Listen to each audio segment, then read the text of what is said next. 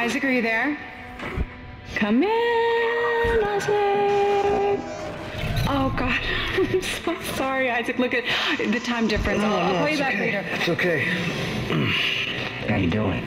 Good. You're right, Isaac. The Ishimura is a great ship. I am so lucky to be serving aboard her. Enjoy it while it lasts. You know they're gonna decommission her next year. Isaac, thank you For what? For just pushing me to do this. I mean, if it weren't for you, I never would have made it this far because you made me stick with it. I'll just remember I'm giving you up for six months so you can do this. You know what? We must be getting an arranged third leg. Isaac. Isaac, can you hear me? Look, I'm gonna call you back as soon as I can. Okay? Isaac!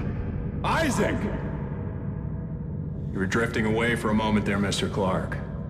I believe you were telling me about your nightmares that you've been having.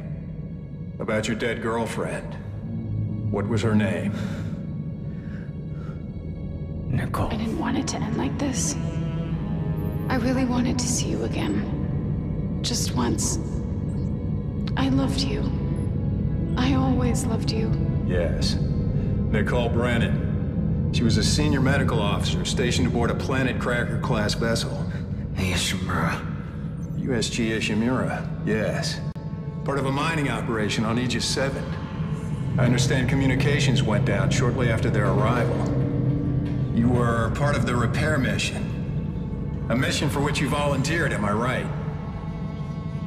What did you find aboard that ship, Isaac? I found something. What did they find aboard the ship, Isaac? The marker. Did you have contact with this marker? It made you see things, didn't it? Things you didn't want to see. It spoke to me. What did it say, Isaac? What did it say to you, Isaac? Isaac? Isaac, can you hear me?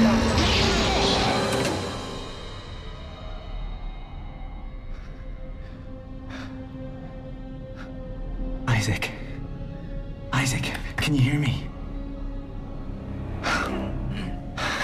Daina, I found Isaac Clarke. Repeat, I have him. Great work, Franco.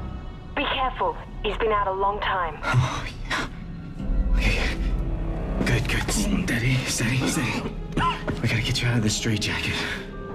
Where, where am I? All right, I, I know you're confused right now. I can explain everything, but you gotta trust me, okay? Listen, you're in terrible, terrible danger.